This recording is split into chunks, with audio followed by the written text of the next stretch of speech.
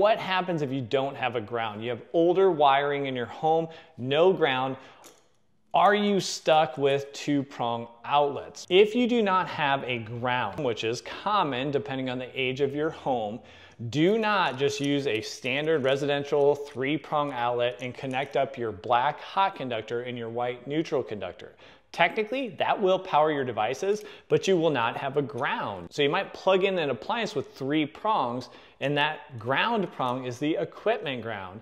And that can cause a dangerous situation where maybe there is a metal case around that appliance, there's an internal short, and that case is gonna become your hot conductor looking for ground, which you do not have. So if you touch that appliance, guess what? you might become the ground and that is a dangerous situation.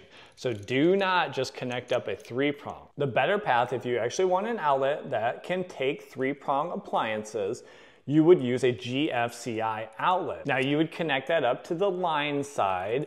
You'd put your neutral to the silver and your hot to the gold terminal, and you do not need a ground and you're still covered. Why is that? Is because a GFCI does not need a ground to operate correctly. It detects if there's a difference between the hot and neutral. So if you touch that appliance and now you became the ground, well, there would be a difference between those two conductors and it would trip. It would cut the power off and protect you. So that's why these can be installed only with two wires, but you do need to use the proper labeling on your faceplate, just saying there is no equipment ground.